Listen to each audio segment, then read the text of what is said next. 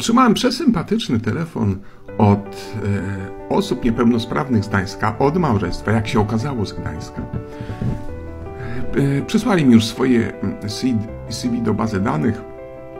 Oboje mają poczworny odpis na PFRON, ale od, opowiem od początku. Wiecie, że jak do mnie dzwonicie, bardzo się cię, często pytam, z jakiego jesteś, jesteście miasta, wy wymieniacie. Pogadamy sobie, co tam u was słychać w tym mieście, czy jesteście z mniejszej y, miejscowości, a ja nie kojarzę, to pytam się, y, to miasto leży koło jakiego większego miasta i wtedy najczęściej mówię formułkę, tak serca prosto mówioną, radą pozdrawiam. Dobrze, dzwonią do mnie i w pewnym momencie pytam się, a skąd y, państwo są? Mówią, że z Gdańska. Ja mówię, o jak wspaniale. Ja w tym roku byłem w Gdańsku. Spędziłem piękne dwa tygodnie. I to w tym czasie, kiedy we wrześniu, kiedy było genialne słońce. Po prostu trafiliśmy w pogodę, także. Tak? Y, I mieliśmy, y, mieszkaliśmy na Przymorzu. A my też jesteśmy z Przymorza. No to jedę dalej. A, to ja mieszkałem y, w tym falowcu na Jagiellońskiej. Oni mówią, my też mieszkamy w tym falowcu na Jagiellońskiej. Słuchajcie, wynajmowałem mieszkanie no oczywiście tam sobie obgadaliśmy, gdzie są super bary mleczne. E, e, ja jestem zauroczony tym miejscem na e, wynajmowanym mieszkaniem na Przymorzu. Ale powiem Wam jeszcze jedną ciekawostkę, że to mieszkanie, które wynajmowaliśmy, jest również związane z osobą niepełnosprawną.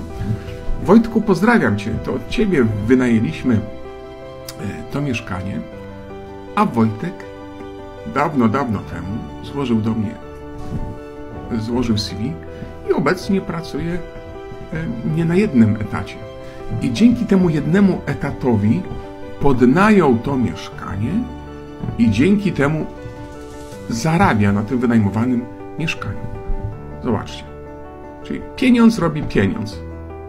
Tak szczerze mówiąc, to w jednym chyba miejscu nawet pracuje jako słup. słup.